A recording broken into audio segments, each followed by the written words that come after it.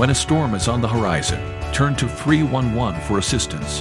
From FEMA information to evacuation centers, 311. Stay safe and informed.